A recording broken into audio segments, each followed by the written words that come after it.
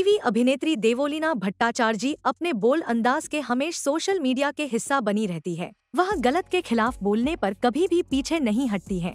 अब गणेश चतुर्थी के मौके पर जब सभी मुंबई में ललबागचा राजा के दर्शन करने जा रहे हैं, उस बीच अभिनेत्री ने आम श्रद्धालुओं के साथ पंडाल में हो रहे दुर्व्यवहार पर सभी का ध्यान केंद्रित करना चाहा है। अभिनेत्री ने एक्स पर एक लंबा पोस्ट साझा कर लालबागचा राजा के मैनेजमेंट को भी फटकार लगाई है।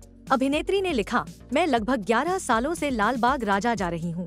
पिछले साल मेरे अंदर कुछ बदलाव आया और मुझे जाने का मन नहीं हुआ। मुझे पता है कि मुझे लालबाग के राजा के दर्शन करने और उनका आशीर्वाद लेने का सौभाग्य मिला है और मैं इसके लिए खुद को धन्य मानता हूँ।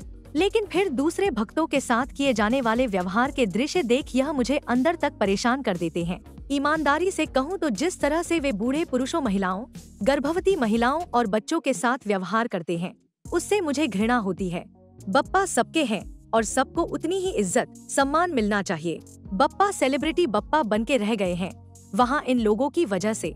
साथ ही लाल बाग के राजा के साथ मेरा जो जुड़ाव है, वह वहाँ है और रहेगा। लेकिन यह सही नहीं है। दोस्तों, अगर आपको हमारा वीडियो अच्छा लगे तो उसे लाइक करें, शेयर करें और ऐसी ही दिलचस्प जानकारी पाने के लिए हमारा चैनल फॉलो करें।